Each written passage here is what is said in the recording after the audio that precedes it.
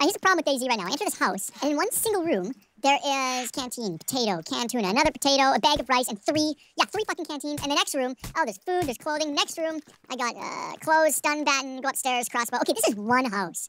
It's ridiculous. It's not a survival game. It's a go into a house, get everything you need. You don't, you'll never starve to death. Scenario. I just, I just, that's, that's my rant for the day. I'm in the hospital, by the way. I don't know where the school is. Wait, I'm in the school. I'm sorry, I'm in the school now. yeah, no, I, I get you, man. I totally get you. Where's that sense of desperation we all love DayZ for? Where is it? I want to be desperate. I want to be desperate like, uh, a... There we go. Thanks. See, that solved our problem. Yes, my leg is in pain. Oh, look, another bag of rice, can of tuna, two, oh, bag of, a box of cereal. It's just, ah, ah, you're bleeding everywhere. It's my vagina. It's my vagina.